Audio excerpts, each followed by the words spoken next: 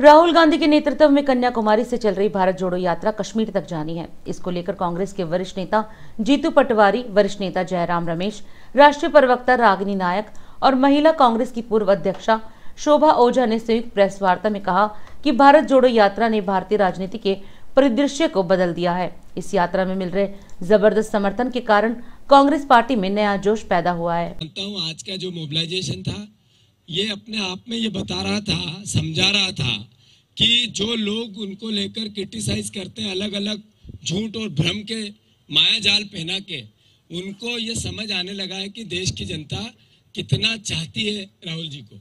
हमारे इंदौर में live mobile पे ये यात्रा पूरा हमारा इंदौर जिला देख रहा है, लोकसभा देख रही है।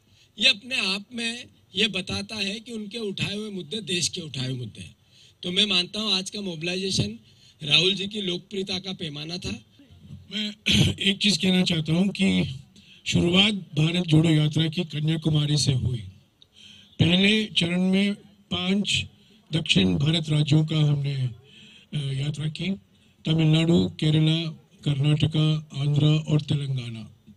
उसके बाद में कहा गया कि ठीक है, इन पाँच राज्यों में आपको सकारात्मक रिस्पांस मिला है जनता से। देखा जाएगा इसके बाद में क्या होगा। इसके बाद में हम महाराष्ट्र आए। महाराष्ट्र में भी ग्यारह, साढ़े ग्यारह, बारह दिन हम थे महाराष्ट्र में। दो दिन का विश्राम का दिन था। बारह दिन जो भारत जोड़ो यात्रा चली पाँच जिलों में। दक्षिण भारत से भी अधिक हमें पब्लिक से रिस्पांस मिला महाराष्ट्र में। और राहुल जी ने एक प्रेस कॉन्फ्रेंस में भी कहा कि महाराष्ट्र में जो हमें देखने को मिला है, जो रिस्पांस आया है, जो उत्साह हमें पब्लिक में देखने को मिला है, वो double A rating A A rating दिया। तब आलोचना हुई, ठीक है महाराष्ट्र तो ये आपका गढ़ रहा है। उत्तर भारत में आके हिंदी हार्टलैंड में आइए और दिखाइए कि भारत जोड़ो यात्रा का असर क्या होगा।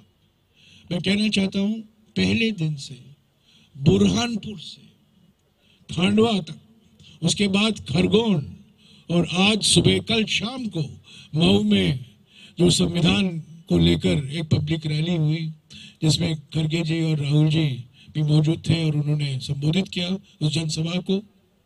और आज सुबह जो मऊ से इंदौर हम आए हैं, ये साफ़ दर्शाता है ये दक्षिण, उत्तर, पश्चिम, पूर्व का सवाल नहीं है।